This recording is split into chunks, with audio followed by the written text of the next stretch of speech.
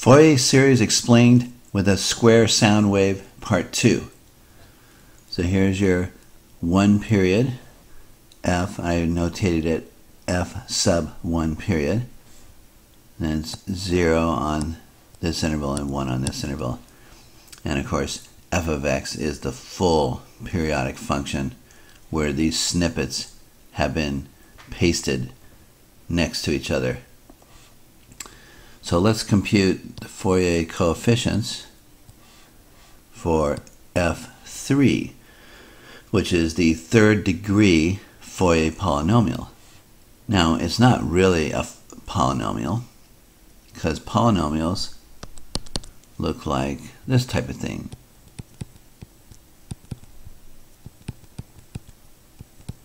That's a polynomial.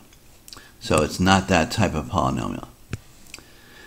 And it's not a degree either. There's really no degree to this.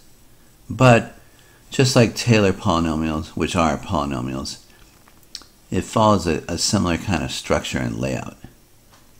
So that's why we call them that. All right. Uh, actually, let's note this.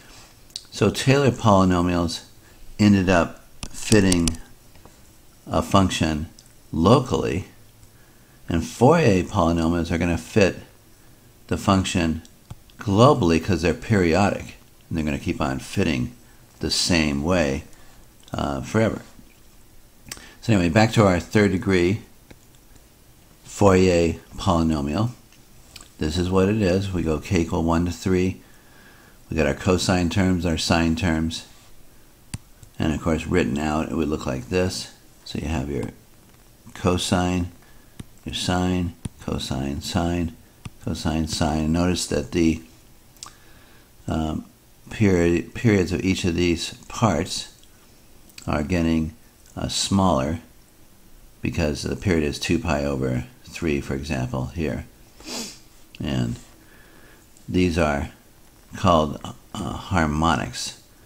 They're refinements in inside the sound, if you're talking about sound waves. Very interesting. We'll get to that later. So let's compute the coefficients. A0 is given by this formula. That's just the average value of the function over the interval.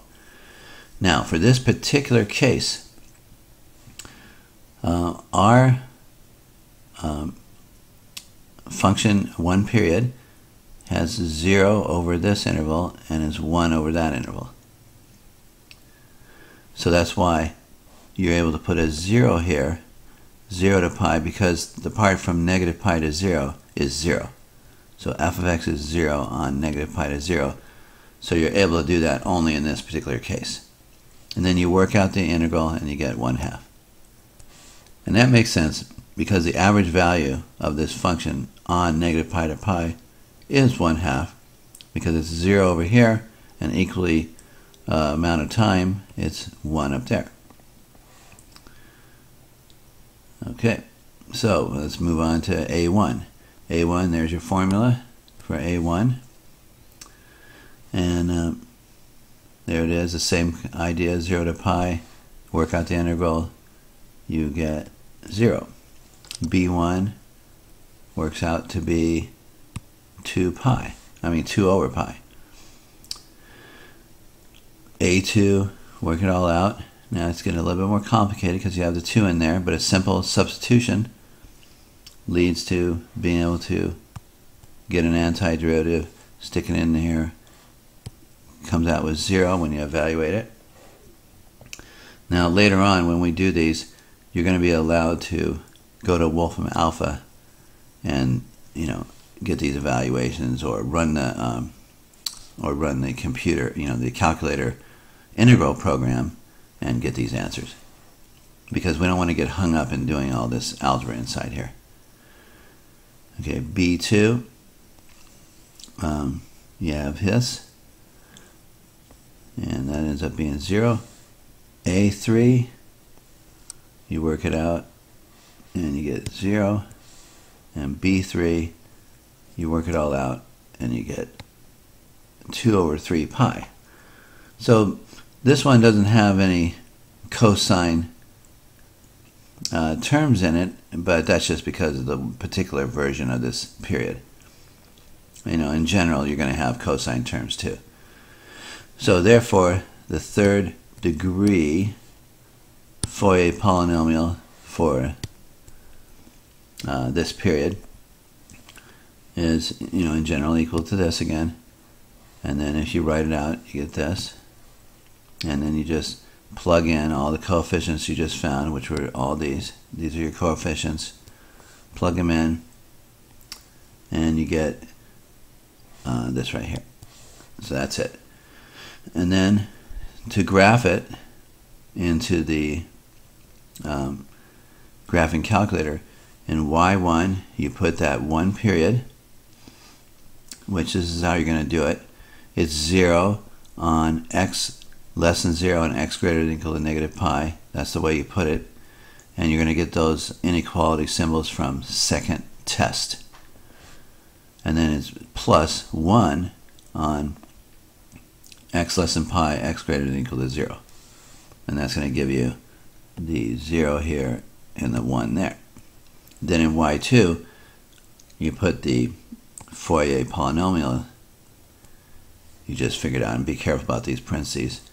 And then that, that gives you this. And now notice that it starts to fit it pretty well. You can imagine the more terms you have of the Fourier polynomial, the tighter it's going to get. It's going to start going like this and then jumping up almost straight and then going like this. So when you go to infinity, it's finally in the limit going to fit it perfect. So now we're going to go to this Fourier player site and to play the sound of our Fourier approximation to the square wave.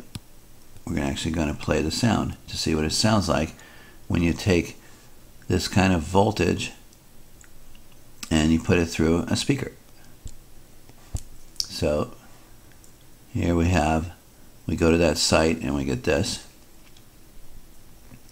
and you enter in your A0. So I put in 1 divided by 2 and I entered on my computer and I get this. And then I put in B1, I put 2 over PI. Or you could have just figured out the decimal and typed it in there. But I put 2 divided by PI, hit enter, and it gave me this number. And then in uh, for B3, I put 2 over parentheses 3 times pi and hit enter and it gave me this. So then there's a little box on the screen that has this. I, am on wave 1. Uh, the sound will start playing as soon as you put that in, but if you want to turn it off, you put audio off. If you want to hear it, you click into here and turn it on. Now, here is the waveform that shows on the screen. Here's our original wave, so you can see it matches up because you're looking at here to there, here to there, here to there. Okay, so that's one period.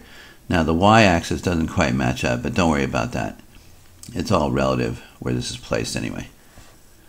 So, but basically the shape is the same. Same shape as ours. It's going to sound the same. So when you click audio on, you'll hear a sound.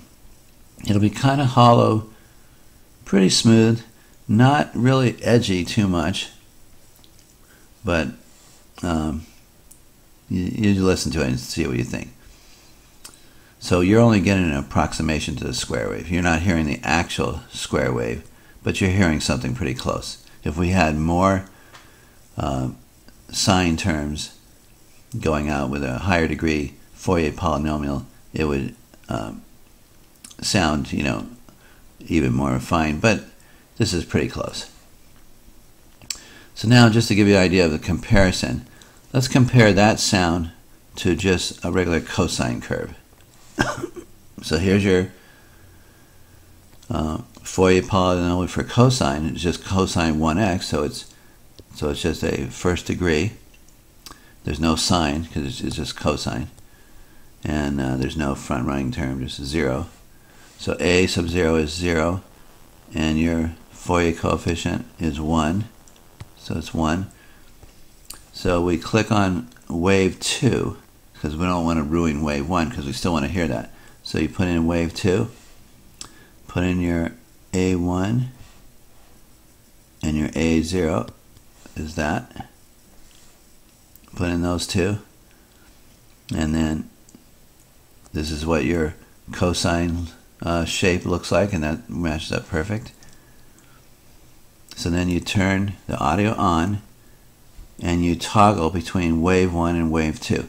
Wave 1 is a square wave, wave 2 is a cosine wave.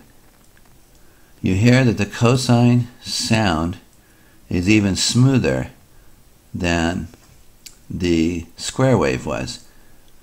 So if you look at the sound wave, the voltage, it's coming in here smoothly.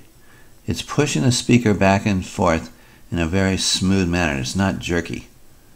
Whereas a square wave is up and down and up and down. So the square wave you expect to be a little bit more edgy than the cosine. But even the square wave is not that edgy. Okay, now I'm going to click over to the site and demonstrate the sound. Alright, and we're going to play wave 1, which is a square wave. Here's that sound. Okay. And now we're going to switch over to the cosine. See, the cosine is real smooth. Here is the square wave. See, it has a little edge, but it's pretty smooth. Here is the cosine. One more time, here is the...